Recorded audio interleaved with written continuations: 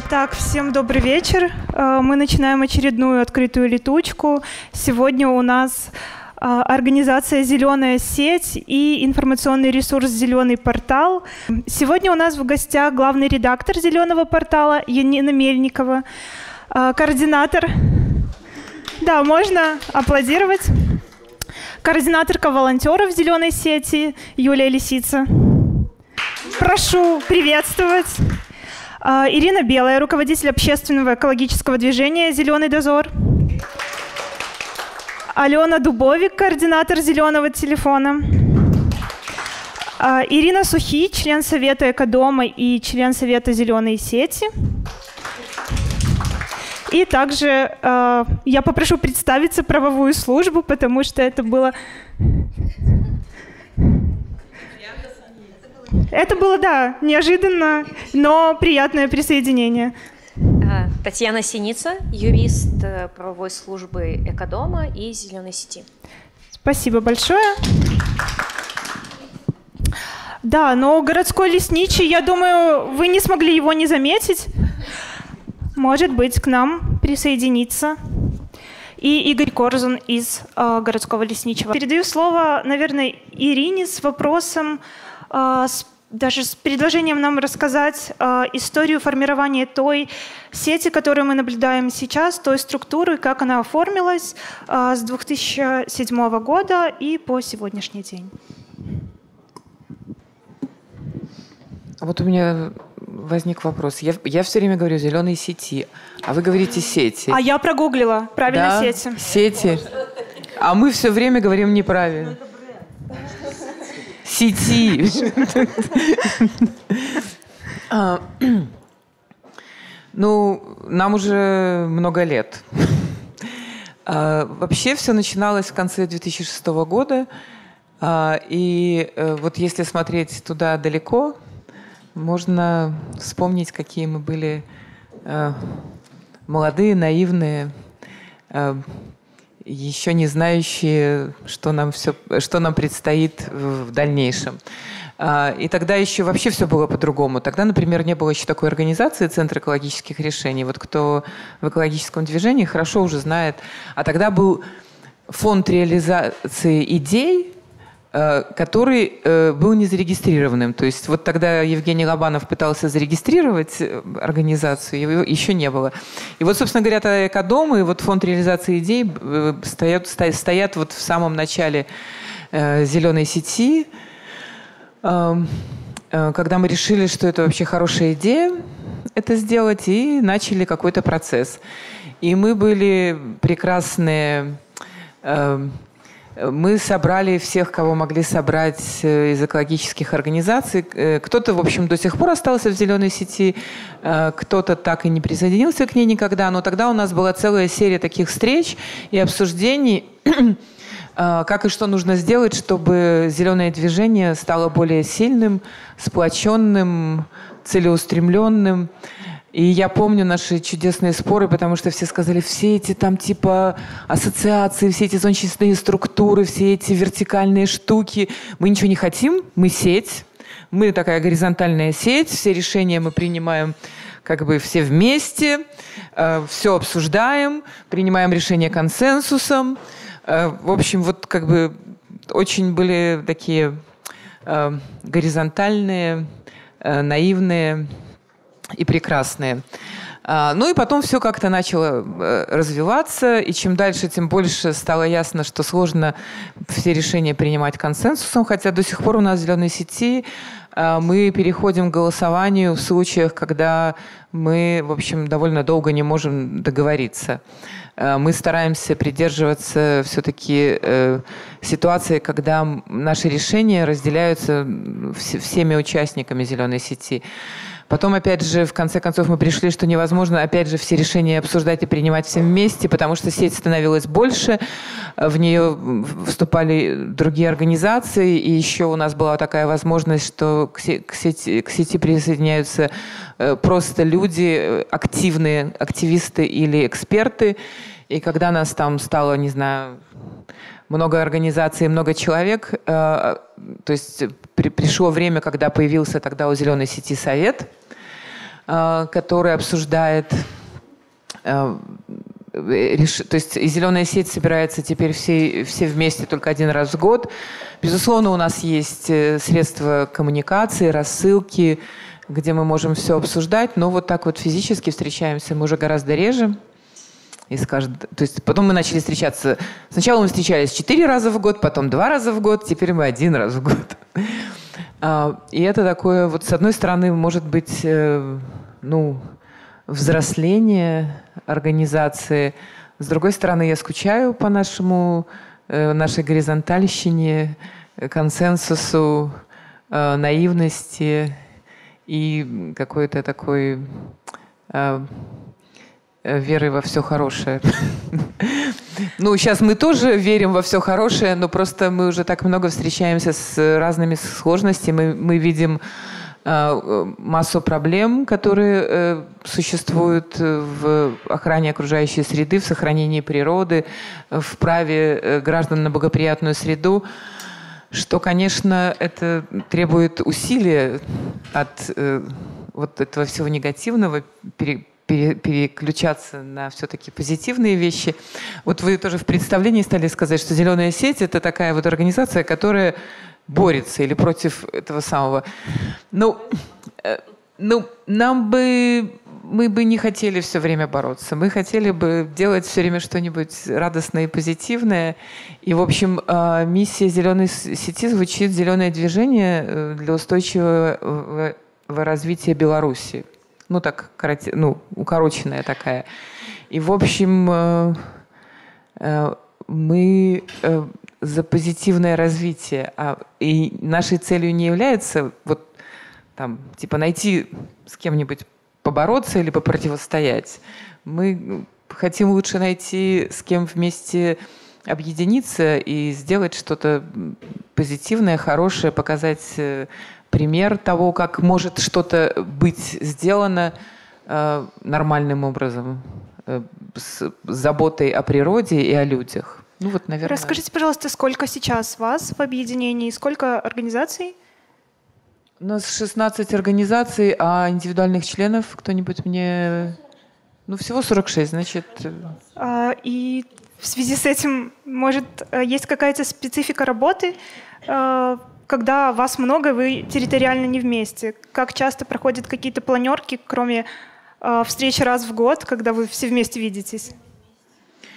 Ну, э, у нас есть э, секретариат, там который вот здесь на сцене сидит и в зале местами. А, вот, и а, это, это люди, которые работают каждый день, у которых там каждую неделю есть планерки. А остальным товарищам не так повезло. А, они находятся там, где они находятся, и могут э, обсуждать и э, участвовать вообще во всех процессах. У нас есть рассылка зеленой сети, куда то есть, пишутся и все новости, проблемы, обсуждения. А у нас есть, конечно же, зеленый портал, который освещает э, все события зеленой сети. А что у нас еще есть? Да, нет, понятно. Я, я имею в виду, что как, как есть ли ну, и инструменты. А, ну, я да, и, и, конечно же, совет встречается гораздо чаще. А, то есть, не, ну как это, мы договорились, что не менее четырех раз э, в год, но в принципе по необходимости, когда назревают какие-то э, необходимости обсуждения и принятия решений, то мы встречаемся чаще. Вот. Ну и всегда ну, на связи. И товарищи сети всегда, всегда могут, должны, э, если хотят как бы звонить, писать, э, поднимать все вопросы, которые их волнуют, получать какую-то нашу помощь и поддержку. Мне кажется, тут э, логично перейти к зеленому порталу как э, информационному ресурсу, и причем это интересный рост от нишевого продукта с определенной аудиторией, казалось бы, уже целевой, до такого широкого можно сказать, многорегионального э, издания. Прошу Янина рассказать про, наверное, историю создания изначально. Ну, про историю создания портала, наверное, я не смогу рассказать. А, поскольку не стояла у истоков создания зеленого портала, но я точно знаю, что его создавали как информационный ресурс зеленой сети, на который те самые товарищи могли бы между собой в том числе общаться, делиться своим опытом, своим знанием, а, на котором эксперты могли бы давать экспертизу тех проблем и тех решений возможных, которые есть, а, которые в тот момент были в в Беларуси, э, тех проблем экологических, я имею в виду. И, собственно говоря, портал создавался именно для того, чтобы это была площадка, которая представила бы все организации, которые входят в зеленую сеть экспертов, и наше видение а, того, как, какой Беларусь могла бы быть, а, решена все свои экологические проблемы. А, и, э, долгое время портал существовал именно для вот этой вот узкой нишевой категории э, людей, профессионалов, экспертов, людей, которые принимают решения. А со временем он развился в... Действительно, он стал порталом. А, в нем появились региональные редакции, и они работали долгое время а, ну, на самом деле как отдельные редакции с отдельными редакторами, которые находились в регионах Беларуси. Плюс был э, центральный, собственно, портал есть в Минске. А сейчас наша структура выглядит таким образом, что у нас есть а, центральный портал, центральная страница – это Минск и Беларусь, плюс а, те регионы, где у нас не представлены наши региональные страницы, это Могилев. А, собственно, в Могилеве у нас нету только да, отдельного регионального портала. В остальных а, городах у нас есть вот регионы, да, у нас есть Гродненский зеленый портал, Брестский зеленый портал, Витебский и Гомельский. У этого портала есть отдельный редактор, э, она есть, поэтому если есть вопросы, как, каково это э, руководить э, региональными порталами, сидя в Минске, то это Анастасия может рассказать. Я, собственно, являюсь главным редактором всего этого портал этого мероприятия.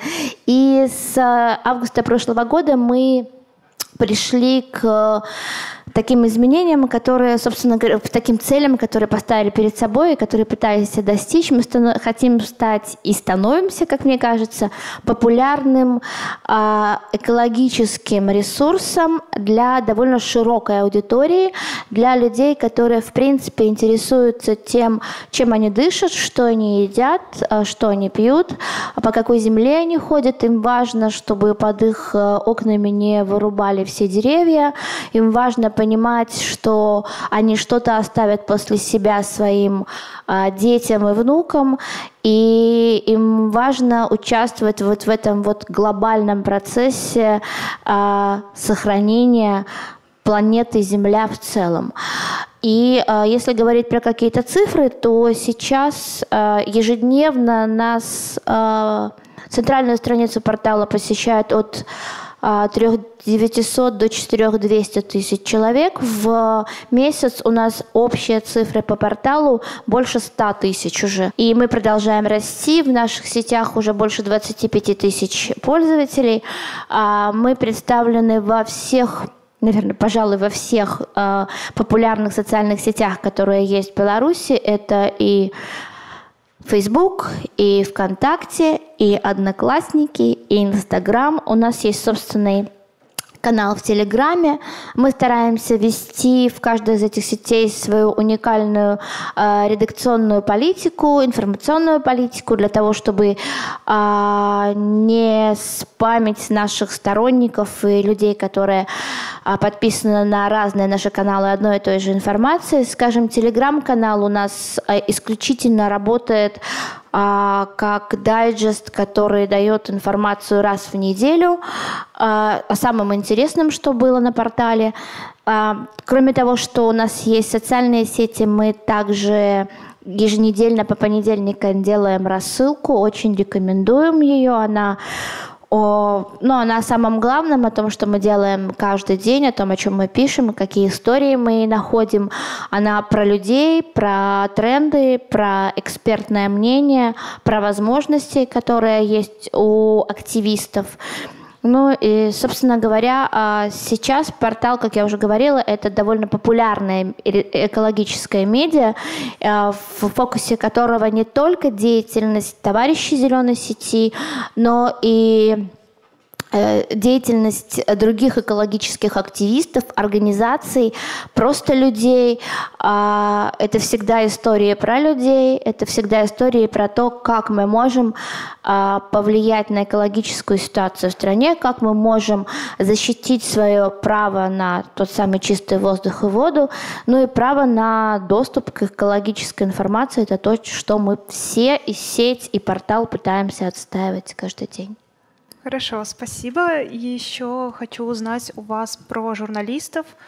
А, какие, каким образованием должен обладать журналист, чтобы у вас работать? Есть ли у вас какой-то пул, с которым вы всегда работаете? Есть ли возможность попасть молодым журналистам к вам? Да, про журналистов. Я самое, простите, самое главное не сказала. Да, наша команда — это Собственно говоря, а, два редактора, как я уже сказала. У нас есть один SMM-менеджер, у нас есть один штатный журналист, Христина, она тоже здесь в зале. Привет.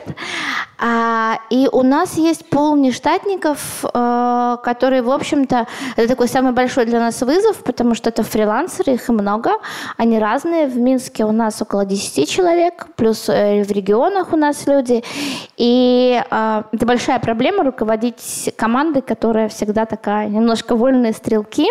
Но мне кажется, что за время, вот за последний год с небольшим нам удалось создать на самом деле команду, которая собирается раз в неделю на планерке, которая постоянно каждый день на связи. У нас есть редакционные чаты, мы общаемся, мы делимся новостями, мы делимся экспертами, мы делимся тем, что мы работаем. Но мы всегда открыты к тому, чтобы к нам приходили и предлагали свои, свою помощь, свои услуги. И, э, люди, и молодые журналисты, и не молодые журналисты на самом деле. То есть всегда открыты к предложениям и идеям.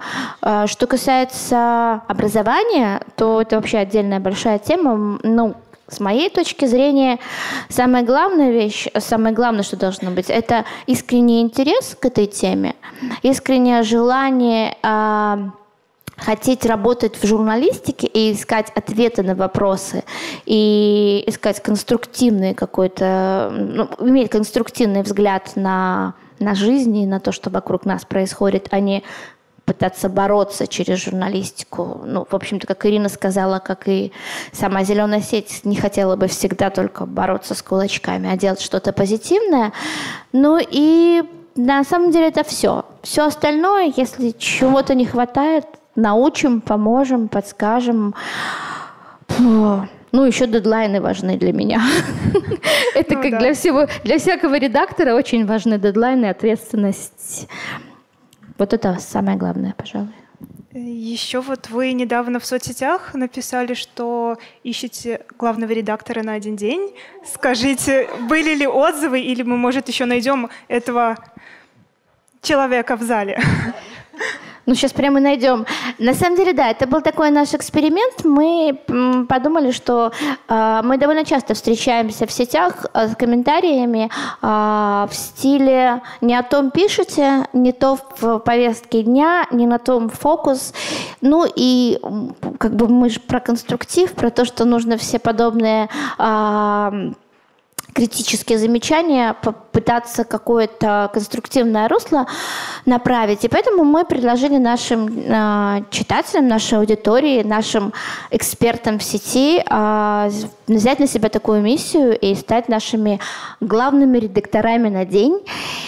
И у нас было, на самом деле, немного. Мы думали, что больше будет откликов. Мы ожидали, что, конечно, самое главное наши условно скажем, хейтеры, комментаторы, да, они к нам прям потянутся и скажут, ну сейчас мы сделаем за один день, прям покажем, вот на что нужно обращать внимание, как работать.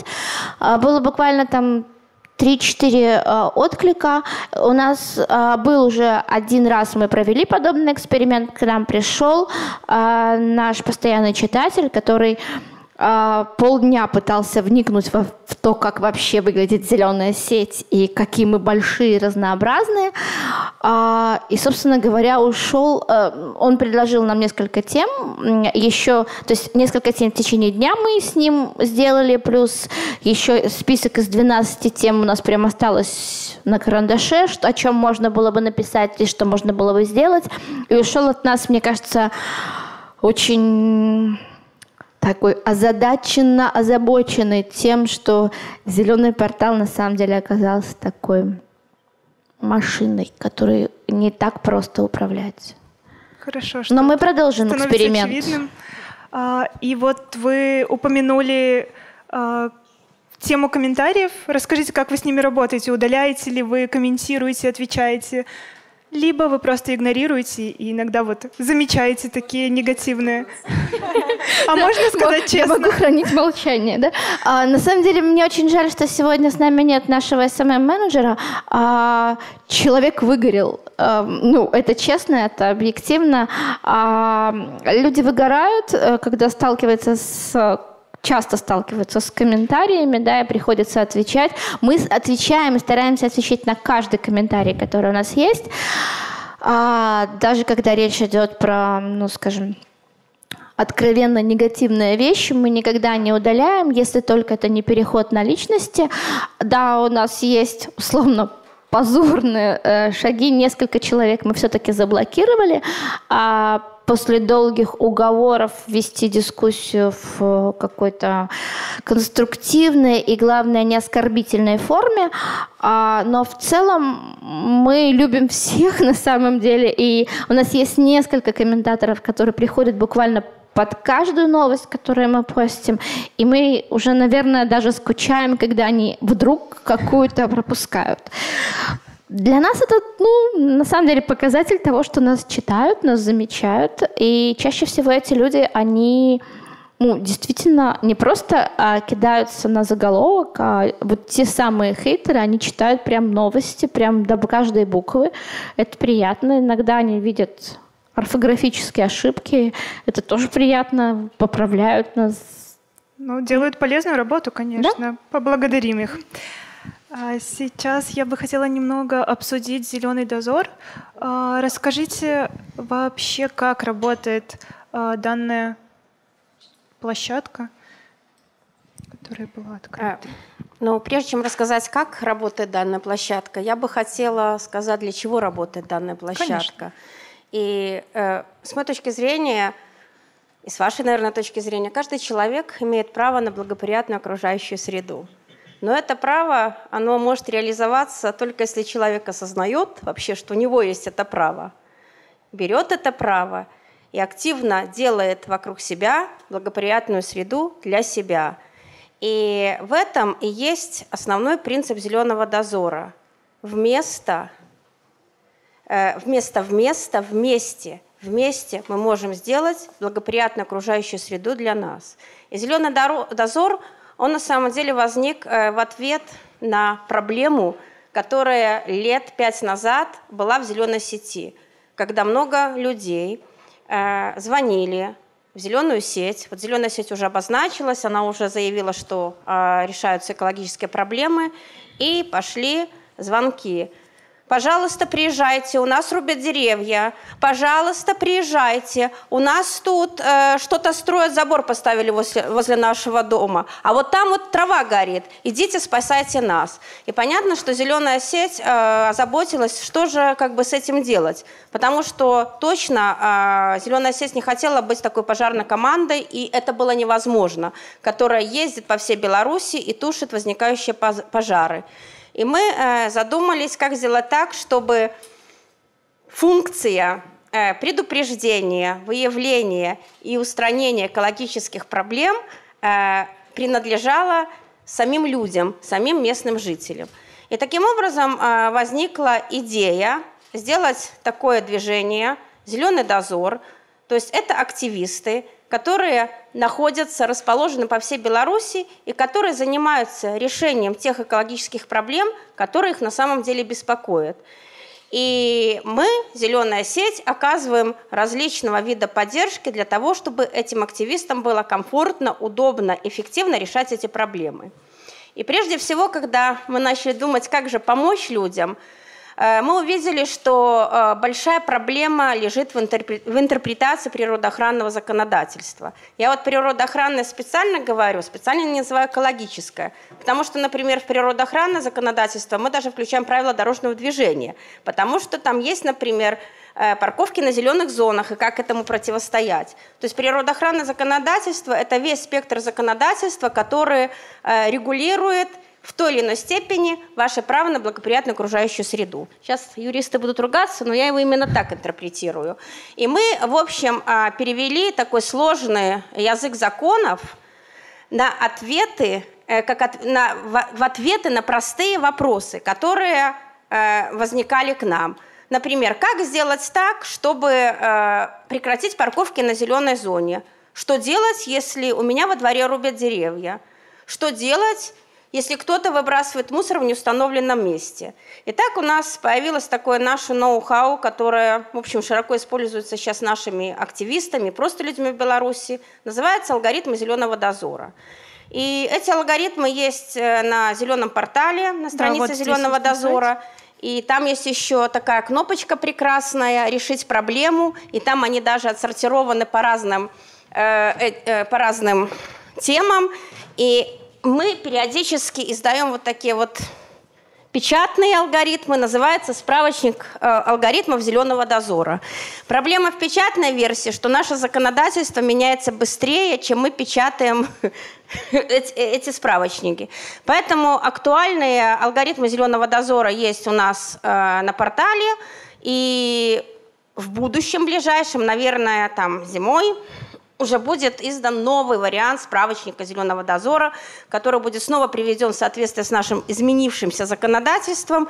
И плюс еще будет плюс 10, наверное, каких-то алгоритмов, которые снова поступают к нам, то есть вопросы, и мы смотрим. Если это связано с природоохранным законодательством, то, в общем, э, можно делать алгоритм. И основной посыл, основной, не знаю, девиз «Зеленого дозора» на сегодня – все проблемы решаемы если их решением кто-то занимается. И у нас на самом деле очень классный процент решенных проблем. Например, по прошлому году, э, ну, то есть мы собираем какую-то информацию от наших активистов. Понятно, что не все сообщают вовремя или кто-то вообще не сообщает. Но из того, что мы имеем, из 800 выявленных экологических проблем в 2017 году 600 решено. То есть, в общем, это нормальный процент, 75% проблем решены.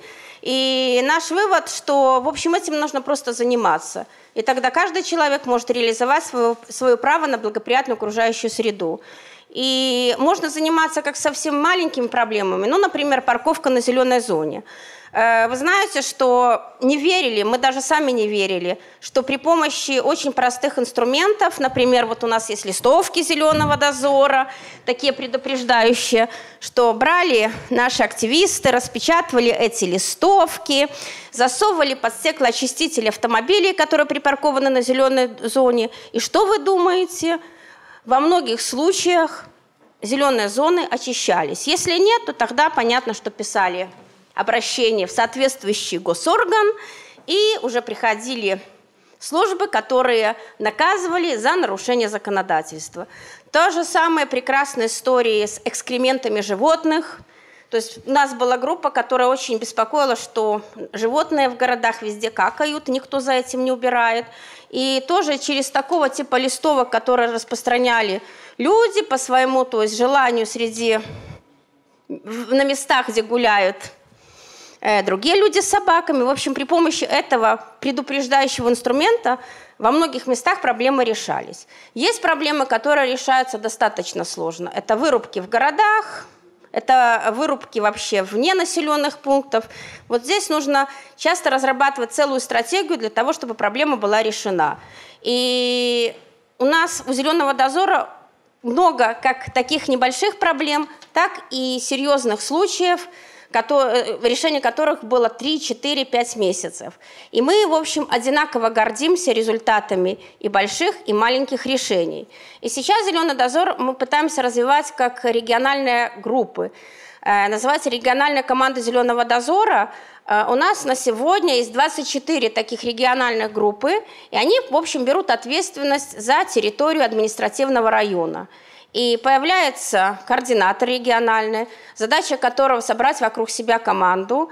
И, в общем, это те местные жители, которые заботятся о том, чтобы на территории их района не нарушались э, э, законы природоохранные, либо устранялись экологические проблемы. В общем, не знаю, все ли рассказала. Если есть вопросы, задавайте. А, да, у меня еще есть уточнение. А, мы сейчас и в зал обратимся. А, скажите, пожалуйста, вот у вас недавно был набор на новых дозорных и тренинг в начале месяца. Скажите, много было желающих присоединиться к этому движению? Э, ну, на, на наш набор заявилось 30 человек, и в результате на сегодня у нас сформирован третий набор, третья команда региональных координаторов «Зеленого дозора», 8 районов. Э, за 8, 8 районах появились люди, которые будут реализовывать свое право на благоприятную окружающую среду на территории этих районов. Прекрасно, спасибо большое. И еще у нас такое тоже правило, у нас э, очень важно, чтобы э, эти группы не были зависимы от зеленой сети. Это очень важный для нас принцип. Поэтому мы их поддерживаем всегда ограниченное время, то есть, ну, часто не больше, ну, часто, может быть, чуть-чуть больше года. И мы очень хотим вложить в них наши знания, наш опыт для того, чтобы потом создавались организации, какие-то инициативы, чтобы э, вот эта охрана окружающей среды замыкалась именно там, на территории района, чтобы не было э, обращений все время к нам. И что еще, кстати, важно, там в районах, где есть такие группы, Мало того, что многие проблемы решаются, они просто не возникают. Самое интересное, что начинают местные люди, а самое главное гос, госслужбы, чиновники смотреть, что кто-то контролирует, и таких вот нарушений, которые, ну, небольшие нарушения, меньше. Про большие нарушения, конечно, если это выгодно и если за этим стоят деньги, то они все равно есть. Спасибо большое. Можно вопрос в зале? Да, э, извините за вопрос сразу, потому что вопрос касательно экскрементов собачек. Смотрите, как бы экологические люди понимают проблему пластика. Э, у экологических людей собаки.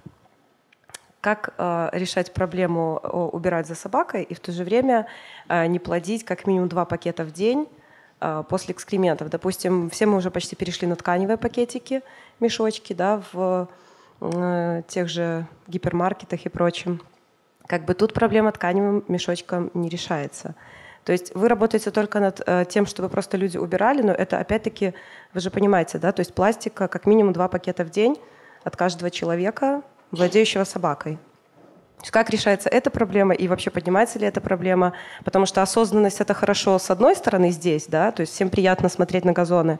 С другой стороны, не сильно приятно есть пластик, пить пластик и бороться с ним. Спасибо. Знаете, э, экологических проблем на самом деле достаточно много. Я еще раз уточняю, что зеленый дозор решает экологические проблемы, связанные с природоохранным законодательством.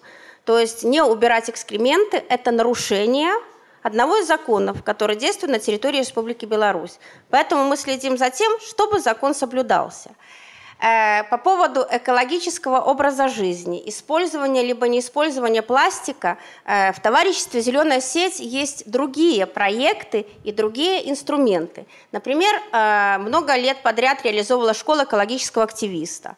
До сих пор мы проводим акции с Робием по всемирной чистке, уборке мусора на земле.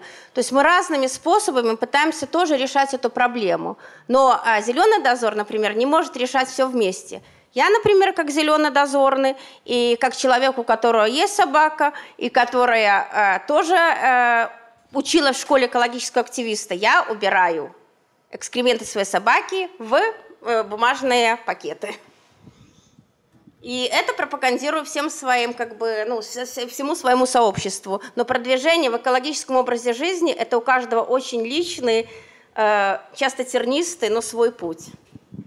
Спасибо большое за вопрос. Я хочу сказать, что у вас будет возможность после летучки пообщаться и задать свои э, эко-вопросы детальные экспертам. Э, я хочу еще задать вопрос Алене про работу телефона. Э, скажите э, про алгоритм работы. Кто-то круглосуточно живет с телефоном, либо у вас организ... И тоже как СММщик скоро выгорит, или все-таки у вас какая-то... Или вы все-таки знаете такое слово, как график работы? И еще сразу, наверное, мне интересны топ-3 вопроса, с которыми обращаются к вам. Легко. А, топ-3. А, да, зеленый телефон. У зеленого телефона есть, э, конечно же, график потому что мы бы так сошли с ума. А, эм, значит, работаем мы с понедельник, понедельник, среду и пятницу с 10 до 6. Принимаем звонки, э, письма, отвечаем на через Telegram и Viber, отвечаем на смс -ки. Вы можете звонить по мобильному номеру Велком 170 26 70 на правах рекламы, говорю. Э, и городской номер 396 94 31. К сожалению, не помню городской. А, вот. А, к нам можно обращаться с любыми вопросами, связанными, э, э, которые связаны с экологией. А, часто так бывает, что люди не очень понимают, связана ли, э, связана ли их проблема с, экологией с экологией какой-то направленностью экологической, мы можем разобраться в этом. Вы, главное, позвоните и расскажите. Когда мы только начинали этот проект, я пришла устраиваться э, оператором э, в эту службу. Э, у нас был блок обучающий, э, как психологически выходить из разных ситуаций. То есть у нас э, э, был инструктор, который э, работает на горячей линии, э, как же она называлась? Гендерной перспективы. Да, из гендерных перспектив. Да, то есть э, она обучала нас, как э, выдерживать паузы, как э, понимать человека, как не принимать на себя, как фильтровать какие-то э, выпады в нашу сторону. Э, в общем, ну то есть мы немножко фильтр, мы поможем вам, э, возможно, э, убрать какую-то эмоциональную окраску и возможно понять, что то, что вы видите, может быть, это вообще не проблема. Может быть, это не экологическая проблема. Ну, то есть вот такие вещи мы можем... О чем мы можем поговорить по телефону. А. Да, э, разговариваем недолго. Нас не так много, у нас только два оператора. Мы э, сменяем друг друга, когда, например, звонок был очень долгий, мучительный. Но в итоге э, мы, конечно, стараемся приходить к какому-то знаменателю положительному. А, мы пытаемся с людьми разговаривать в ключе, эм, что любая проблема касается всех, не только э, этого человека, не только нас, как э, зеленый, эм, сотрудников зеленого телефона, э, экологических активистов, там, зеленую сеть. Да? Мы пытаемся донести, что все, что происходит, это из-за нас, по нашей вине, и мы это также можем, каждый из нас можем это все исправлять. А, вот, поэтому э, чаще всего, когда человек нам э, задает какой-то вопрос, э, либо он предлаг... сообщает нам о случившейся проблеме, мы обязательно у него спрашиваем, готов ли он что-нибудь с этим сделать. Это важное условие для нас, потому что мы только операторы, мы не пожарная команда, мы не выезжаем на место, мы не, там, не знаю, не убираем мусор, не э, останавливаем пилы или что-нибудь в таком духе, не переставляем э, машину припаркованную. А, вот, поэтому э, чаще всего, конечно, бывает так, что люди боятся решить какую-то проблему, и это все происходит от незнания потому что им кажется, что это очень глобально, э, это очень сложно, и это очень долго по времени. Э, не всегда так происходит. Конечно, эм, бюрократическая машина в нашей стране работает, и когда нам нужно получить какую-то информацию, то приходится ждать от 10 до 30 дней, если написать какой-то запрос в госорган. Но э, в этот период ожидания можно делать что-то еще. Можно объединяться с другими людьми, которые видят, же, видят эту же проблему. Можно как-то поднимать тему в СМИ. У нас на портале, в других СМИ. Э, поэтому, ну, как бы работы много, и когда мы человеку э, рассказываем, какой алгоритм действий он может принять, чтобы решить проблему или разобраться в этой проблеме, конечно, человек бывает пугается и не хочет ничего делать. И ну, в этот момент мы, конечно, э, объясняем, что, например, если этот человек находится где-то в регионе, то мы можем э, оказать ему поддержку, например, с помощью зеленых дозорных. Если в этом регионе есть группа зеленых дозорных, так мы взаимодействуем между собой. Э, вот, и тогда э, обмениваем координатами, э, контактами, и люди также смогут получить поддержку и уже не только по телефону, а уже и лично. Э, вот. Также, если человек э, желает сообщить какую-то информацию, и она просто будет интересна для э, э, интересно, например, для журналистов, мы также можем э, связать людей с нашим порталом, журналистами, с редакторами, чтобы осветить какую-то интересную идею, возможно. Кто-то бывают люди, которые звонят, они придумали там, я не знаю, какую-то около машину там экологическую, и они хотят поделиться этим своими э, разработками. Естественно, мы отправляем и к журналистам, э, возможно, иногда даем контакты наших экспертов в каких-то узких направлениях. А, вот у нас Ирина Сухи часто консультирует этих э, да. Э, также э, часто у людей э, возникают проблемы, когда они не знают какого-то законодательства, да, ну, юриди в юридическом плане, экологического законодательства чаще. И, естественно, мы их консультируем в этой части и передаем в правовую службу Экодома такие же вопросы. Они разбирают какие-то полученные ответы от госорганов, либо, ну, в общем, как, разбирают полностью по кусочкам э, вопрос. Вот, поэтому э, чаще всего получается с человеком разговаривать либо очень мало, потому что человек не хочет решать проблему, он только позвонил сообщить.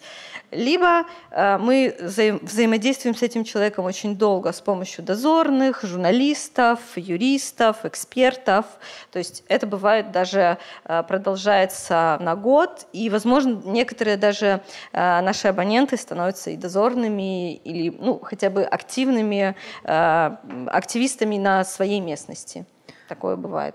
Понятно, но судя вот по вашей инфографике в годовом отчете, вы чаще сталкиваетесь с женщиной из Минска, а, которая вам позвонила, а не написала, и она обратилась по вопросу зеленых насаждений. А, можно еще узнать, с какими проблемами чаще обращаются? Да, я скажу про женщину из Минска. Да, это за прошлый год. Про женщину из Минска расскажу. Ну, я думаю, что дело в том, что а, женщины больше восприимчивы, наверное, на каком-то э, на визуальном уровне, да. И любят есть... разговаривать по телефону, правда? Нет, нет, э, э, восприимчивы. Пожилые люди восприимчивы, они сидят дома, они видят в окно, что происходит, и пожилым проще звонить по телефону, чем пользоваться интернетом. Ну и, естественно, поговорить, наверное, тоже. Хотя бывают такие мужчины, что очень сложно как-то закончить разговор даже. Вот. А теперь про топ э, проблем. Да. Чаще всего это зеленые насаждения, да, вырубка, обрезка. Эм, после этого идет, э, идут отходы, мусор, то есть э, загрязнение, но это дальше отходы мы делим на несколько ну, то есть градируем их всегда, потому что есть просто мусор, это как э, экскременты собачьи, да, например, животных, это, а, возможно, просто какие-то свалки, да, э, но также есть это загрязнение, э, загрязнение почвы, загрязнение воды, воздуха, и, ну, это уже чуть-чуть другие как бы, вопросы, и они более узкие. Вот. Ну и третий, наверное, Третий пункт, он, я не могу его сейчас четко определить, все зависит от времени года, наверное, еще. Потому ну, что... важный фактор. Да, вот. Хорошо, спасибо. Там Юля заскучала. Я еще не, не. А, давай ты нам расскажешь про работу с волонтерами, про то, что они делают, какую работу с охотой больше выполняют волонтеры. И также анонсируй нам форум, который довольно уникальный. И расскажи, чем. Еще разом. Um, да, добрый вечер. Юля Лисица, координатор волонтерского сервиса «Зеленой сетки». А на сённяшні момант у нас у базе больш за 560 чалавек. Трэба зазначыць, што гэта ад 2014 года, то бок ад пачатку стварэння валанцёрскага сервісу. За апошні год у нас прыростам больш за 250 чалавек. Гэта для нас вельмі моцнае маштабаванне. То бок аднаго чалавека ўжо відавочна недастаткова для, для таго, каб ну, так якасна і глыбока апрацоўваць кожнага валанцёра і валанцёрку, которая прыходзіць да нас, але пры гэтым бо я прыкладаў все намаганні для того, каб для того, каб валанцёры валанцёркі, якія прыходзяць, яны мелі такое ну, так скажем паглыблення у дзейнасць у тое чым мы займаемся чым займаецца зялёная сетка і таксама часткова нашыя таварышы і таксама я вывучаю попыт э, ну не попыт а такі унутраныя патрэбы чалавека наколькі гэта магчыма у наших там таких абмежаваных стасунках каардынатаркі і валанцёра і спрабую зразумець што гэтаму чалавеку э, найбольш цікава чым ему хочацца займацца таму калі ты пытаешься про тое якую работу робіць найлепей там ці найгорш то я магу адказаць што э, няма людзей которые ну як бы валанцёр не подписывается на дрэнную работу звычайно прынамсі ну по маім досведзе то бок людзі выбіраюць толькі тое што ім хочацца рабіць тое у чым яны зацікаўленыя тое што як бы тое што ім баліць з таких цікавых сустрэч які мы правялі якім я там асабіста там трошачку ганаруся мы стараемся планаваць неяк там год ці паўгоддзя разам з нашымі актывістамі з такім ядром валанцёрскім і на пачатку гэтага года у нас было такое натхнення зрабіць штосьці разам экалагічнае і пры гэтым такое культурніцкае і вось у нас была супер ідэя стварыць спіддейтинг хуткія спатканні для экалагістаў і экалагінь і у нас гэта атрымалася то бок у нас было больш за 20 26 чалавек по-моему прыйшло і гэта все прыйшло так фантастычна ну, як бы што людзі просто былі ў захапленні. То бок як для мяне валанцёрам трэба даваць просто максімальна шмат свабоды але ў пэўным рэчышчы да як бы ну якім у якім ёсць там нашай накірункі дзейнасці. Натуральна што мы стараемся апрацоўваць все запыты якія ёсць ад таварышаў. Яны не заўжды апрацоўваюцца максімальна глыбока тому что ну натуральна што валанцёры гэта такая неустойлівая група людзей дастаткова да у плане адказнасці то бок ёсць людзі суперадказныя а ёсць той хто ну не лічыць неабходным там прытрымлівацца дэдлайнаў абавязка ўсяго на свеце то бок гэта спецыфіка працы гэта нармальна і мы час ад часу сутыкаемся з такімі выпадкамі недавно у нас быў з парталам цікавы цікавая гісторыя можа быць она яшчэ скончыцца пазітыўна мы хацелі зрабіць рэдызайн старонкі э, нашай загалоўнай на сайце э, шукалі там тры чалавекі адгукнуліся до конца дажыла адна дзяўчынка і тая у выніку злілася пасля таго як атрымала ТЗ і дамовілася пра ўсе як бы умовы сказала што ўсё зробіць просто як бы знікла з усіх радараў спадзяюся што ўсё ўсё добра э, калі што там Так э, ну і важна падкрэсліць таксама тое, што э, у нас ёсць такая вельмі моцная прывязка да таго, што робяць таварышы, то бок мы ў першую чаргу прыярытызуем тое, што робяць яны і стараемся на іх патрэбы ну, закрываць там э, такія валанцёрскія магчымасці і далей ужо развіваць нейкія свае э, ну, нейкія свае задумкі. І вось форум э, па працы з валанцёрамі прыхільнікамі гэта па вялікім рахунку, ну, наша задума унутраная сакратарыяту, але ў ёй зацікаўлены у тым ліку і валанцёры і актывісты, которые займаюцца там экалагічнай дзейнасці ці просто актывісты гарадскія умоўна. Гэта форум міжнародны форум, на якім будуць абмеркаваныя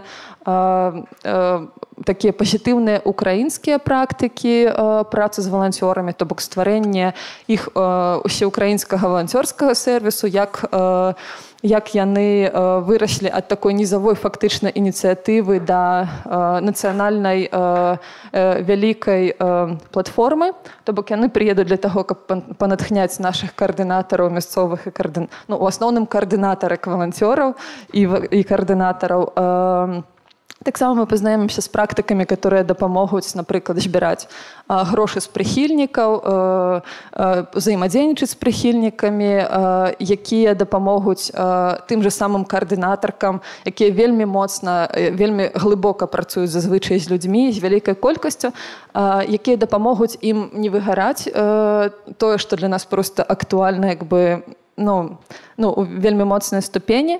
Вось і гэта будзе да вялікі форум ён будзе праходзіць два дні у прасторы другі паверх не ведаю ці трэба яшчэ больше нанасаваць калі цікава то есть на старонцы фейсбук да, еще адкрыта.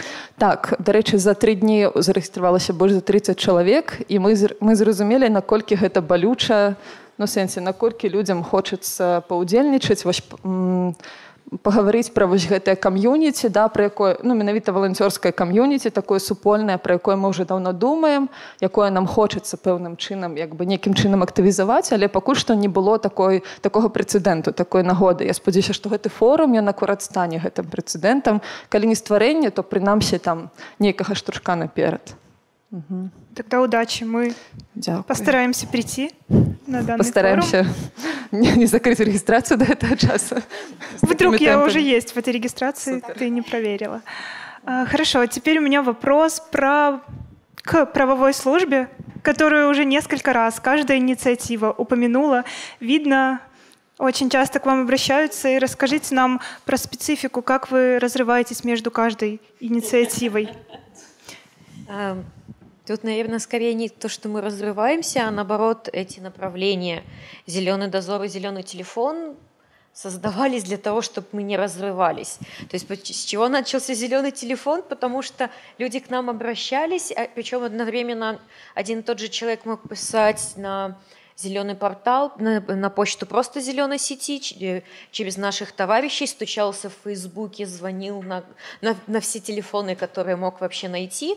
А, и получалось, что отвечал тот человек, который ну, просто в офисе был, тот несчастный, который поднял трубку офисного телефона, и, а вопросы могут быть очень специфические. А, то есть нам нужен был какой-то фильтр. Мы, конечно, хотели с большим... То есть это позволяет нам сейчас с большим количеством людей работать, да, то есть больше с регионами, хотя вот статистика говорит, что все-таки у нас это женщина из Минска, но на самом деле очень много звонков действительно из регионов. И то есть, для чего, то есть не все, вот э, Ирина говорила про зеленый дозор, но не все люди готовы стать зеленым дозорным, то есть как-то больше постоянно, да, какую-то деятельность, но они готовы вот решить конкретную свою проблему. И нам очень удобно именно работать, вот к чему мы стремимся, чтобы вот был все все проблемы, они сходились именно через зеленый телефон, который может отфильтровать, хотя бы понять, в чем состоит проблема. То есть надо просто человеку проблема то есть легко решается, или там человек хочет найти какую-то информацию, а это буквально решается обратиться в нужный государственный орган, он просто не понимает в какой. Или в какую-то из экологических организаций, ну, ну чей это профиль. Или нам надо найти специалиста, или действительно эта проблема нуждается в юридической консультации. То есть э, э, мы не разрываемся, это как раз э, помогает да, нам работать. Основная наша действительно деятельность правовой службы – это вот обслуживание вот этих а, зеленого дозора, зеленого телефона и портала, да, зеленого портала, когда необходима журналистам наша консультация, потому что бывают очень специфические темы, э, там, а чаще они обращаются по вопросам общественных обсуждений, отчетов об э, оценки воздействия на окружающую среду, каких-то судебных процессов, в которых мы участвовали. Ну, то есть такие специфические темы, в которых нам важно ну, там, не ошибиться. А, и есть еще, конечно, направление, которое не связано да, там, с, зеленым, с другими службами зеленой сети, но как бы это стратегическое да, наше направление, это работа с там, аналитика, законодательство, то есть вот та Орхусская конвенция, которую тут называли ее, то есть доступ к экологической информации, э, участие общественности в принятии экологических значимых решений и доступ к правосудию по вопросам, связанным с охраной окружающей среды. То есть то, чем мы занимаемся, то, что мы пытаемся продвижение этой Орхской конвенции в Беларуси, полной ее имплементации в национальное законодательство. То есть вот это такое наше направление – и в этом нам помогает и в том числе и зеленый телефон, и зеленый дозор, потому что это, то есть это анализ, то есть это не только наш опыт, наша практика, но это и то, что мы видим у всех наших абонентов да, по Беларуси, по разным регионам и у зеленых дозорных. То есть мы можем э, из каких-то локальных проблем да, сформулировать ну, то есть на более высокий уровень это поднять и сформулировать какое-нибудь предложение по там, внесению изменений в законодательство. То есть это из маленьких локальных проблем э, понять, как ее можно закрыть, то есть изменив что-то в практике или в, э, в законодательстве. И скажите еще, пожалуйста, сколько у вас человек в правовой службе? Потому что тот объем работы, который вы сейчас озвучили... Um, Ну, э, смотря как считать. Ну, э, так у нас есть два человека в э, Минске, которые, ну, то есть тратят свое основное время, вот именно эта деятельность в экономии зеленой сети. И есть еще юрист, который развивается между Беларусью и Польшей, и еще есть тоже у нас юрист в Минске, но у него есть там какая-то основная работа, и он там время от времени э, берется за какие-то консультации зеленого телефона или зеленого дозора.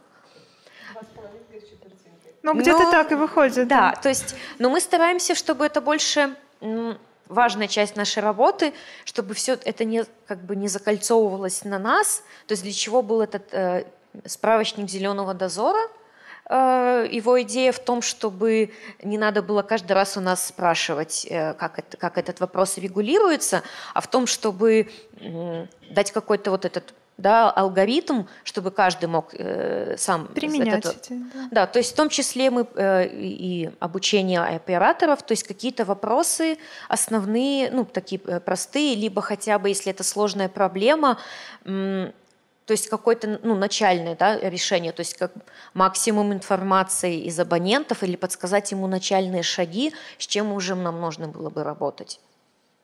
Хорошо, спасибо большое. Я тут заметила, что к нам присоединился Игорь Корзун. Мы попросим вас на сцену, потому что эта прекрасная ель вас, конечно, не заменит. Просто попросим вас рассказать про актуальности и проблемы, которыми вы живете, либо радости.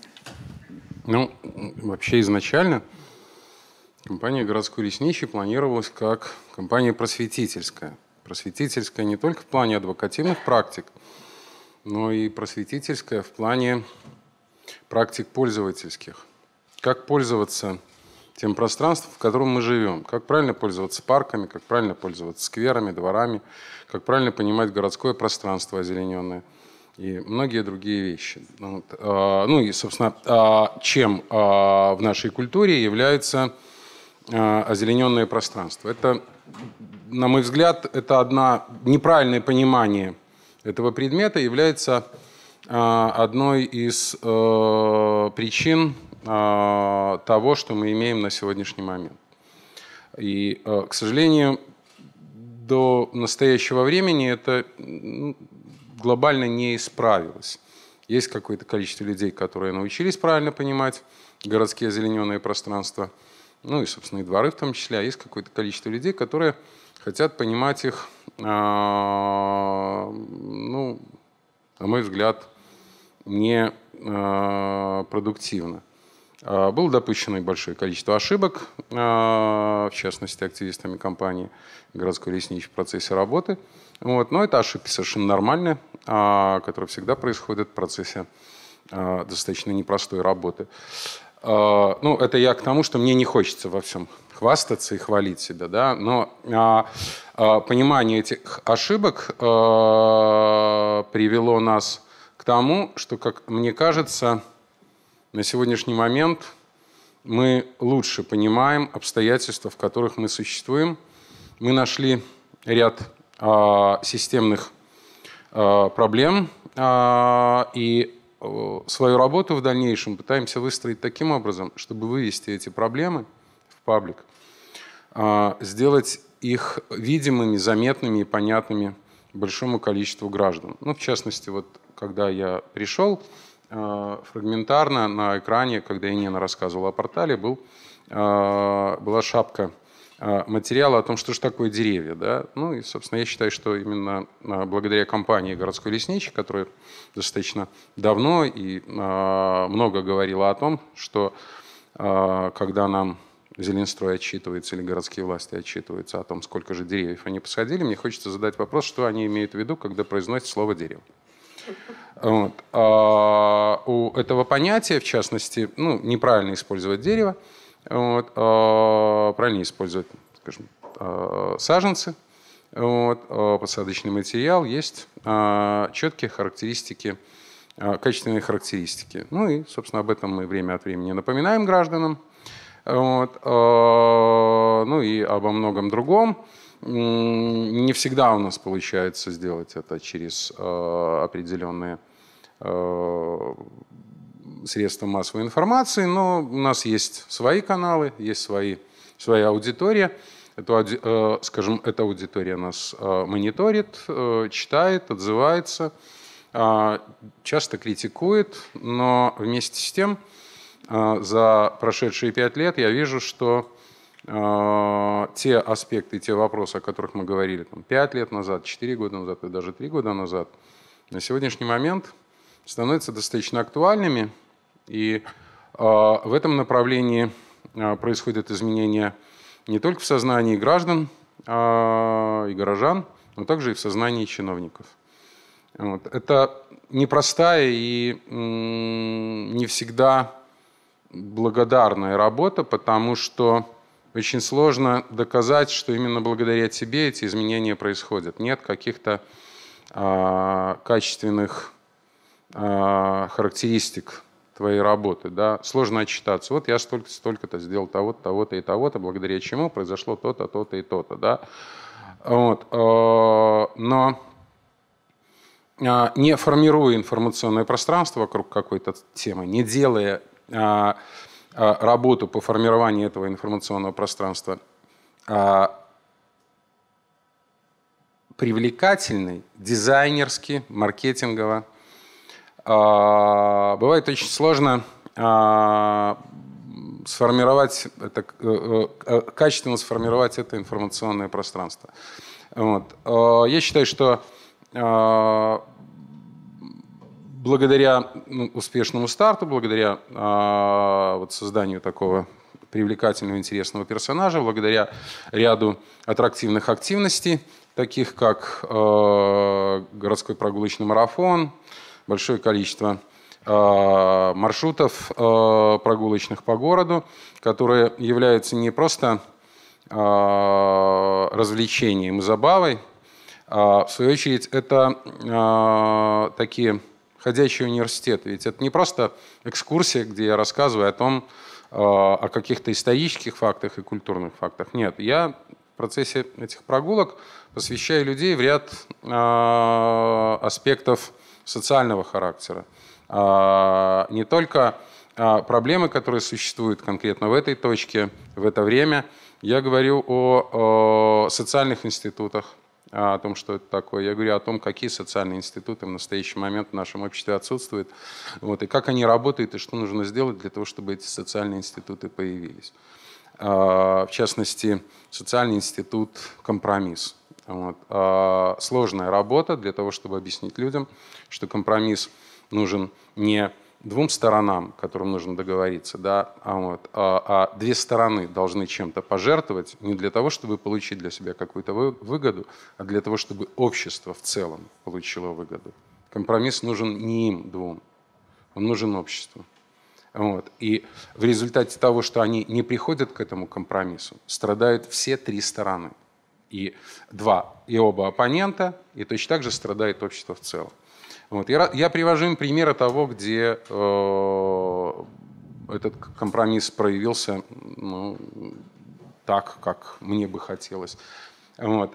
Э, я э, э, разговариваю, вот иногда э, тот же а, горячий телефон отправляет ко мне людей, а, которые просят о помощи. А, моя помощь выглядит не, э, является не некой консультацией о том, что нужно сделать. Это продолжительные беседы, иной раз больше, чем полчаса.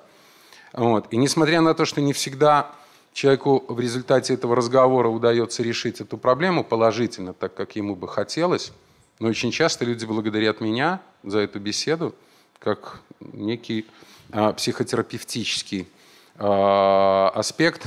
А, им становится легче от того, что они понимают, а, даже в ситуации, когда они понимают свое бессилие, они все равно понимают, почему это произошло, им легче эту ситуацию пережить и перенести.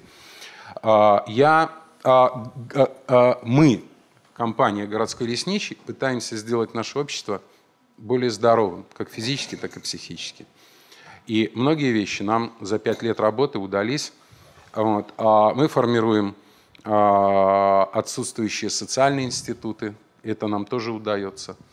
Активность горожан в а, аспектах а, отстаивания своих, своих прав на благоприятную среду а, выросла во много раз. Ну, кто-то скажет, что это просто тренды, но, собственно, как, как иногда говорят, отсутствие доказательств нашего участия в этом не является доказательством их отсутствия.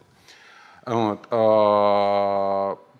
Все, да? А, ну, ваши, я уже ну, много рассказал. А, ваши коллеги просто немножко подсмотрели да. вопросики и оживились. Много ли у вас молодых журналистов? Вообще, по вашему опыту, насколько молодым людям интересна тема экологии?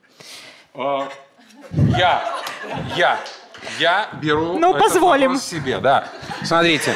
Вы а, поняли, это, как нужно действовать. А, это не, не, не этичный аспект. Вопрос. А, а, и сам аспект неэтичный. Молодые, не молодые, да? Что за иджизм? Точно так же, давайте вы спросите, сколько у вас журналистов женщин, сколько у вас журналистов мужчин, какая вам разница? Вы немножко опоздали, мы вот. почти обсудили. А, да, ну, я опоздал, но я высказываю свою точку зрения. А, неважно, молодой журналист или старый, никто, никто из здесь присутствующих не сможет внятно а, а, объяснить, что это такое, молодой журналист. Это сколько? До 25 лет? Это некая... А, а какой опыт должен быть у человека, чтобы он был не молодым? 3, 5, 25? Вот, то есть, ну, ну, ребята, чушь собачья. Комментарий главного редактора. Кажется, я нашла главного редактора на следующую неделю. Это классно. На самом деле, я хотела сказать, ну, то же самое, может быть, чуть-чуть мягче, да. Я не знаю, мы не считаем себя старыми журналистами, никто из тех, кто работает в редакции. А, если вы имеете в виду а, тех журналистов, которые только после университета или еще в университете учатся, а, то у нас только одна девочка в Минске, кто с нами сотрудничает, а, кто еще учится на четвертом курсе, и она не журналист по образованию. Она филолог, э, переводчик иностранных языков. И, в общем-то, э, с нами сотрудничает именно в этом направлении, а занимается переводами э, статей, которые публикуются в других изданиях для нас и адаптацией их. А если вопрос про насколько молодым людям интересна тема экологии, вообще, в принципе, молодым людям, то, наверное, ну, это, это сложный вопрос в плане, как, о какой экологии конкретно речь, потому что, э, да, людям интересно, молодым, э, ЗОЖ, здоровый образ жизни, возможность покататься на велосипеде в городе, а, возможность путешествия, возможность открытия своей страны, ее каких-то уникальных природных памятников. И все это как бы входит в это понятие, в то, в то тематическое как бы разнообразие, которое есть на зеленом портале. Все это хорошо читается, хорошо просматривается. Вообще, мне кажется, что, ну, опять-таки, соглашусь с Игорем, дело совсем не в возрасте, и тут дело в ценностях, дело в том, насколько люди вообще думают про то, как они живут, и как они хотят жить, и что они хотят оставить после себя. Спасибо. Я предлагаю вам задержать у вас микрофон, потому что следующий вопрос. Вы говорите, что в разных соцсетях контент ваш различается. И так вот, по какому принципу вы делите информацию между одноклассниками, контактом, Инстаграмом и так далее? Ну, как бы, наверное, тут либо с ликбеза нужно начинать вот ответ, либо нет. Давайте примем за как бы, изначально, что мы все понимаем, что аудитория в Одноклассниках, в Инстаграме, ВКонтакте отличаются. Это разные люди, они по-разному воспринимают информацию, а, они по-разному делятся информацией, и поэтому, конечно, мы долго спорили, например, нужно ли нам идти вообще в Одноклассники, ну, потому что у нас просто их не было. И в конечном итоге решили, что да, там есть тоже благодарная аудитория, которой тоже интересны те вопросы, которые мы поднимаем, но мы понимаем, что она более возрастная, что а, ей интересно более там короткие форматы, э, но при этом очень такие объяснительные да, вещи, а, что да, она, конечно, будет клевать на жареное, но мы не хотим этого, но при этом а, мы как бы облекаем ту, эм, ту информацию, которая есть на сайте, в, э, в картинки, в короткие видео, в объяснялки, а, чтобы было людям, скажем, в этой конкретной социальной сети более понятно. Для Инстаграма понятно, что мы используем используем визуальные форматы, сторис а, стали делать. А Твиттер у нас, я не упоминала Твиттер, он вообще просто rss отдельно, мы им практически не занимаемся как таковым. А в Ютубе у нас наши ролики, а опять-таки обязательно мы все знаем, что ролики смотрятся короткие, все ролики смотрятся обязательно с титрами, а, потому что чаще всего их люди смотрят на работе, и они не включают звук, чтобы начальник не увидел. А, то есть, ну, так, так делают. Мы не против. мы не возражаем. То есть для каждой социальной сети мы просто придумаем именно тот формат, который будет хорошо там смотреться и на который будет отклик, который будет хорошо расшариваться. Спасибо большое. Приступим к следующему вопросу. Какая у вас аудитория, возраст пол, доход и все Класс. такое. Класс. И все такое. И все такое. Класс. Доход и все такое. А, наша аудитория. Знаете, у нас а, как бы каждый раз, когда я говорю, у нас больше женщин, буквально через пару недель у нас оказывается больше мужчин. У нас аудитория на самом деле почти 50-50 мужчины и женщины. 35 плюс – это такое вот наше ядро. Это в основном городские жители. Это люди со средним специальным и высшим образованием. Э, это довольно активные люди. Они не против активизма, хотя чаще всего их активизм все-таки такой немного сетевой, то есть они готовы подписывать петиции, они этим регулярно занимаются. А, доход знаете, такая интересная штука, то есть нам дают Гемиус табличку с доходами, там много людей, которые пишут, что они получают больше, чем тысяча долларов в месяц. Я не знаю. Может быть, это их желание, возможно, действительно так и есть. Сложно проверить, но они пишут, что доход у них средний, то есть относят себя к среднему классу. А, тоже вопрос, кого считать средним классом, и кого мы в Беларуси считаем средним классом. Но, тем не менее, про все такое не совсем понимаю. Ну, все такое у них тоже, наверное, есть. В основном это уже семейные люди. И, собственно, мы ориентируемся в своей сейчас информационной политике на вот этот вот ядро 35 плюс, активные горожане с семьей, с э, довольно много путешествующие, э, работающие скорее в, скажем, головой, чем руками, хотя, ну, и, и другие тоже есть. Ну, вот как-то так, да. Хорошо, спасибо. А, вопрос про свидание будет. Вопрос к юристу а, зеленой сети. А, в какое количество нормативных документов национального законодательства вами были инициированы изменения и каков результат? Ну, я здесь э, начну отвечать, хоть я не, не, хоть я и не юрист. Дело в том, что ну, тоже вопрос там про количество. Вопрос, вопрос же не, тоже не, не про количество, а про как бы э, ну, основные принципы. Мы здесь уже говорили про Орхусскую конвенцию, и, в общем, одна из наших важных задач – сделать так, чтобы эта конвенция в нашей стране максимально хорошо работала и выполнялась. И э, очень сложно э, из позиции там, общественной организации повлиять на принимаемое законодательство – Э, потому что, то есть мы сколько мы не говорили Минприроде, что вот тут нарушается Орхусская конвенция, вот здесь, а здесь положение не такое, здесь э, как бы нормы Орхусской конвенции неправильно интерпретированы в национальном законодательстве. Нам отвечали, да, да, конечно, мы, мы все исправим, когда-нибудь это случится.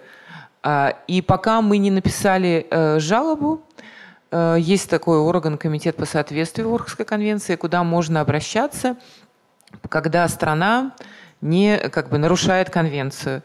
Мы подали туда уже, наверное, несколько э, таких вот, э, но они даже не называются жалобами, это они называются communication, то есть вот информ, ну, это сообщение, э, в котором мы описываем э, те ситуации и те проблемы, которые возникают в Беларуси с реализацией Орской конвенции. И это, конечно, очень длинный процесс, но у нас мы получили хороший результат, которому мы очень рады, потому что в результате вот этих действий Потом, значит, вот подаешь жалобу, потом, значит, комитет по соответствию, значит, ее разбирает, он пишет нашему правительству, правительство отвечает, мы комментируем, проходят годы, э, значит, наступает там каждые три года встреча сторон Орхусской конвенции. Все страны, которые подписанты этой конвенции, они, значит, встречаются и обсуждают, что там произошло. И, значит, э, после того, как, значит, вот три года комитет все это вот исследует, он пишет свои рекомендации. И на встрече сторон эти рекомендации озвучиваются и принимаются как рекомендации стране. А, э, и мы э, не очень ну, мы как бы первый первый раз мы не знали, насколько это вообще подействует. То есть, ну, Беларуси можно давать э, там разные рекомендации, на которые она может по-всякому э, реагировать. В этом случае мы получили хороший результат. Минприроды, когда ей дали рекомендации на международном уровне, э, сказала, ой, и тут же начала быстро э, максимально консультироваться с общественностью, обсуждать нам нов... с нами новое положение об участии общественности в принятии значимых э, решений. Она начала консультироваться с комитетом по соответствию, как же все-таки это лучше имплементировать национальное законодательство. То есть процесс пошел. И в принципе, вот, а когда было в прошлом году было принято это новое положение об участии общественности, э, общественности в экологических решениях, которое, в общем, э, это гораздо, гораздо лучше, чем то, что было раньше. Это большой шаг вперед в выполнении норм Орхусской конвенции. И вот, и, то есть говорить о том, что мы там написали еще каких-то 15-20 каких-то комментариев к разным законодательствам, ну, мы писали, что-то учли, что-то не учли. Э, бывает по-разному. Ну, вот как бы вот пример, который я привела, он, ну, такой значимый. Ну, еще здесь Таня добавит. Да, пожалуйста. Да, Ирина сейчас сказала именно про тот случай, когда мы были, ну, то есть инициаторами именно из-за нашей деятельности привела к тому, что э, ну, то есть прошел процесс какого-то там э, изменения законодательства. А, но и помимо этого, да, о том, что Ирина говорила, мы просто работаем, ну, то есть мы э, видим, да, что, допустим, Министерство природных ресурсов сейчас разрабатывает какой-то законопроект, оно их вносит на общественное обсуждение, и, и, ну, да, то есть и мы свои предложения. А про результат, ну, вот, наверное, наибольший результат именно был по тому законодательству, которое вот вытекло из нашей, собственно, вот этого сообщения в комитет. То есть то, что касается э, общественных обсуждений, и вот как раз там эти были изменения 15-16 год. И да, я могу сказать, что действительно то, что мы предлагали, оно появилось и в законе, и вот в положении именно по проведению общественных обсуждений – а, сложнее происходит это с другими министерствами, потому что у нас другие министерства не считают, что Орхусская конвенция на них распространяется. То есть э, с Министерством лесного хозяйства очень все тяжело, и как бы мы там пытаемся, допустим, писать э, комментарии, когда они что-то меняли, но э, то есть это не мы можем сказать, что был процесс взаимодействия. С Минприроды это действительно прям были не, то есть формальное обсуждение, когда они просто на сайте написали, что они это обсуждают, а мы послали комментарии, но мы не знаем, какой на это ответ. То есть там действительно были какие-то встречи, рабочие группы, где мы могли действительно что-то обсуждать и предлагать. Из опыта не с Министерством природных ресурсов, это, наверное, только Министерство архитектуры тоже. Оно касается э, общественных обсуждений только вот именно в сфере архитектурной градостроительной. Ну, то есть это обсуждение этих генпланов и, ну, то есть то, что знают, собственно, все жители Минска. А, правда, э, то есть процесс был, обсуждения были, круглые столы были, он никак не дойдет к какому-то логическому завершению уже, который уже, наверное, второй год. А, то есть я не могу сказать, вот пока я не увижу итоговый, да, что, э, что они подпишут, какой документ, действительно ли был какой-то результат. Но как минимум министерство готово было к тому, чтобы вообще обсуждать э, с общественностью, э, там, и с общественными организациями, и с представителями инициативных групп там, по Минску, просто вообще обсуждать, как можно улучшить эту процедуру. А, ну, помимо общественных обсуждений, я могу назвать там закон, конечно, об особо охраняемых природных территориях, закон о растительном мире, то есть и другие, но вот именно то, что касается Орхусской конвенции, ну это основное наше направление, действительно какой-то результат есть.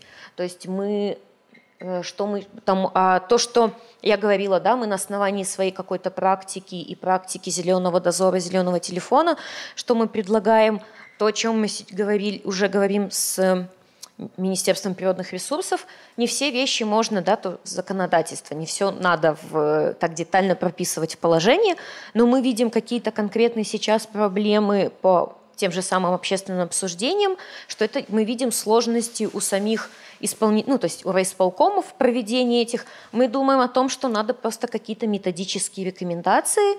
То есть вот это то, вот, о чем мы сейчас да, говорим с Министерством подготовка, не законодательство, но методических рекомендаций для райисполкомов, чтобы эти общественные обсуждения проходили легче и для них. А, так что я бы но я думаю, что вы смогли ответить. Да, я, я, что у нас частично. есть положительный опыт нашей работы, что а, есть какой-то действительно результат. Хорошо, давайте про быстрое свидание, которое отличная идея, считает автор аноним данного вопроса. Это вы хотели помочь людям личную жизнь наладить или организовать интересный нетворкинг? Угу. Uh, Што датычыць канкрэтна вось гэтых хуткіх спатканняў, которые мы э, зарабілі, гэта было акурат пра нетворкінг. Это было акурат пра тое, каб паўзаемадзейнічаць і таксама паказаць вось гэты прыклад таго, што розныя вельмі розныя мерапрыемствы можна праводзіць там экалагічна такімі прыязнымі, э, са шматразовымі кубачкамі, з мінімум смецця. То бок гэта быў такі такія крокі як бы на вонкі таксама да? на выклік там іншым арганізатарам, напрыклад але я вспомнила цікавую гісторыю ну як бы калі казаць пра тое ці гатовы мы ці хочам мы ці спрыяем мы таму каб наладжваць асабістае жыццё наших валанцёраў і валанцёрак.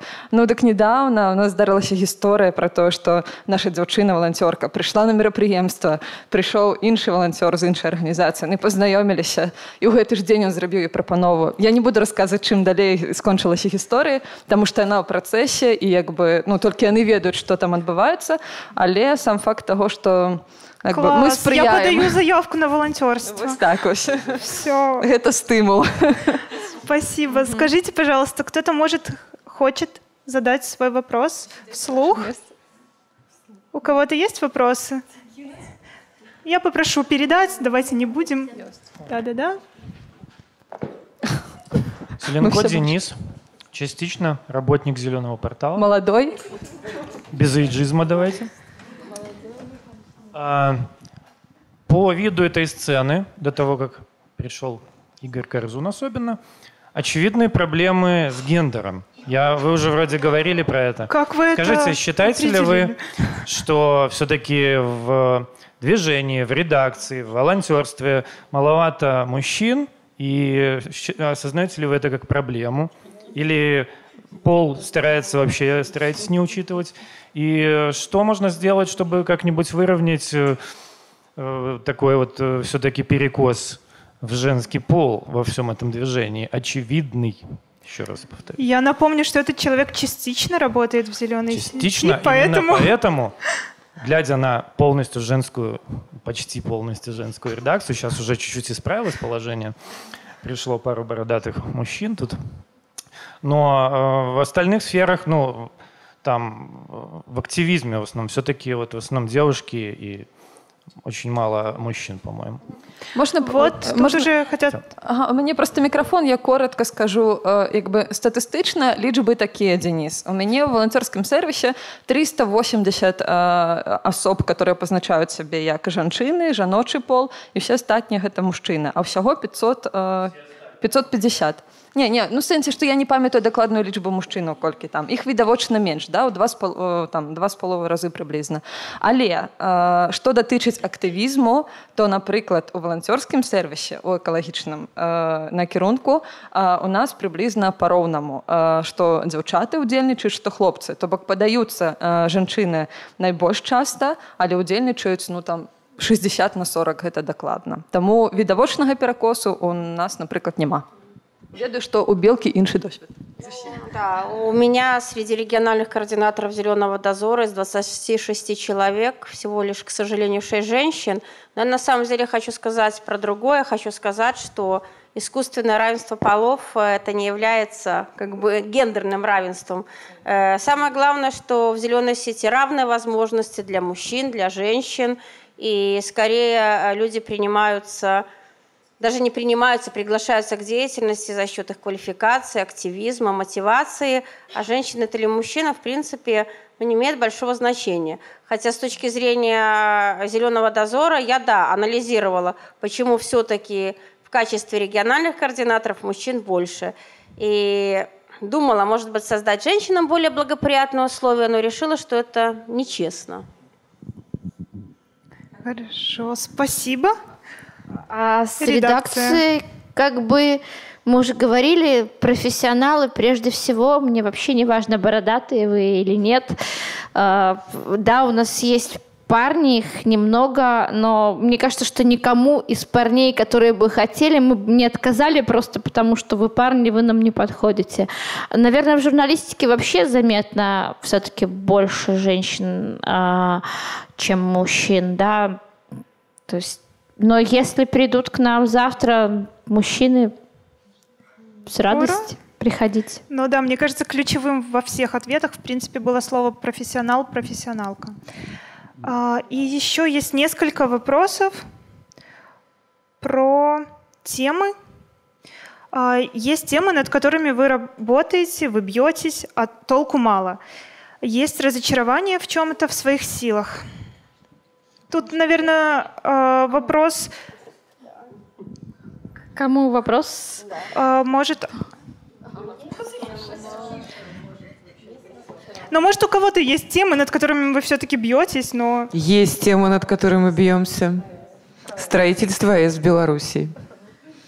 Эм, и, в общем, э, и есть, ну и вообще все вот похожие темы, когда это строительство каких-нибудь э, больших серьезных предприятий, когда решения принимаются указом президента, когда это, ну, как бы, это, это большие там, деньги, инвестиции или еще что-нибудь, э, как правило, все эти, э, все эти темы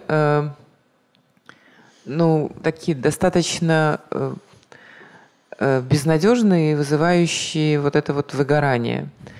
Но тем не менее, э, вот если говорить про АЭС, э, там, Экодом не оставляет эту тему и не оставит ее, несмотря на то, что выглядит так, что станция заработает.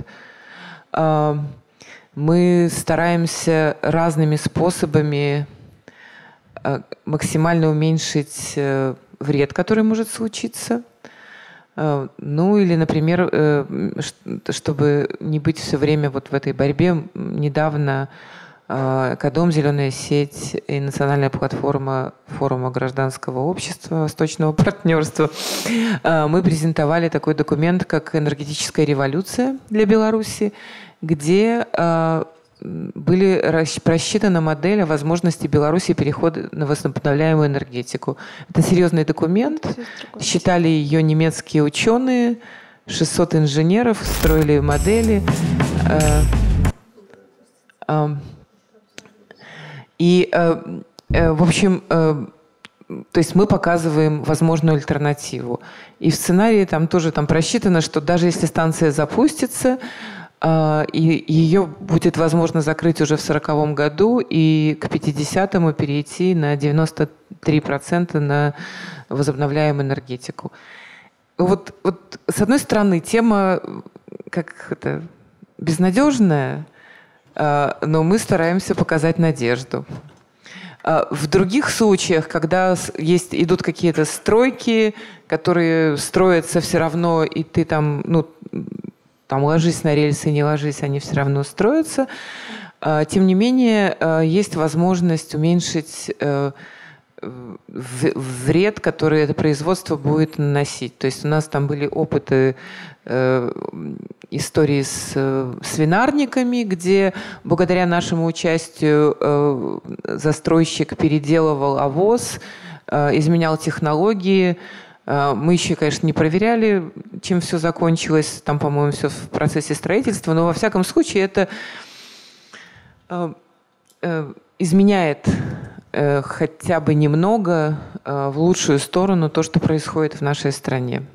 Ну и, конечно же, такие темы, они изматывают, мы устаем, выгораем, нам нужна ваша поддержка э, и ощущение того, что э, не только нам это нужно, и что всем остальным не все равно.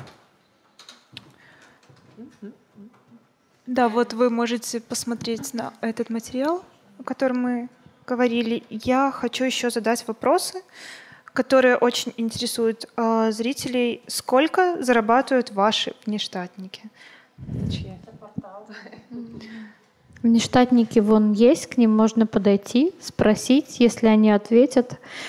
Ну, тогда придется себя уже назвать, кто этот аноним. Я могу сказать, что все нештатники у нас работают по договору. Все нештатники берут на себя все расходы по оплате всех налогов. И, в общем-то, все зависит от их желания работать, э, от того, сколько они пишут в месяц и от того, что они делают. Потому что кроме обычных текстовых форматов у нас есть и видеоформаты, у нас есть и спецпроекты, которые мы запустили, а мультимедийные на тильде. Это большая работа, это долгий процесс, это красивые истории. Ну и, соответственно, как бы чуть-чуть другие а, гонорары. Денис. Хочет узнать, сколько он зарабатывает. А, сколько зарабатывают нештатники? Ну, я бы сказал, что, во-первых, мало, хотелось бы побольше, но это зависит полностью от лени и работоспособности. И второе, анониму. А, внештатники здесь зарабатывают ровно столько же, сколько в среднем по рынку во всех других редакциях небольших и средних сайтов абсолютно одинаковые цифры, они выровнены все по полю, и никогда не будут какие-то другие, больше или меньше. Если здесь будет больше, то сюда набьется куча журналистов, и в редакции будет 50 человек в ожидании материалов. Вы же понимаете, это нереально. Поэтому здесь все выравнивается совершенно. Столько же, короче, сколько и все остальные. Спасибо. Хорошо, и у нас остался последний Э, вопрос э, про главного редактора на день. Э, и что, все решения временного редактора останутся в силе? Прям кто-то очень захотел, наверное. Ну, прям если очень хотите, то приходите. А, но главный редактор не может принимать и увольнять людей, и сразу хочу сказать, в том числе и действующего главного редактора, да? Поэтому на это не стоит рассчитывать. А, да, собственно говоря, мы же про контент в первую очередь, и поэтому тот контент, который в этот день а, приглашенный редактор предлагает на сайт, мы на завтрашний день не удаляем, безусловно, он остается так, как он есть. А, что касается тех предложений, которые вносит главный редактор в контент на будущее, а, то я уже говорила, они на карандаше, что-то мы уже взяли в работу, про что-то мы еще думаем, сможем ли мы это сделать. Но в целом, я думаю, что процентов 30 из того, что человек, приглашенный в редакцию, пришел и предложил нам, оно абсолютно укладывается в нашу политику и, в общем, не выбивается из нашего формата и ну, позволяет нам просто по-новому взглянуть на какие-то вещи, которые мы делаем. Спасибо большое. А, на этой радостной ноте я хочу всех вас поблагодарить за то, что вы после рабочего дня пришли к нам на летучку. Все, спасибо большое, всем хорошего вечера.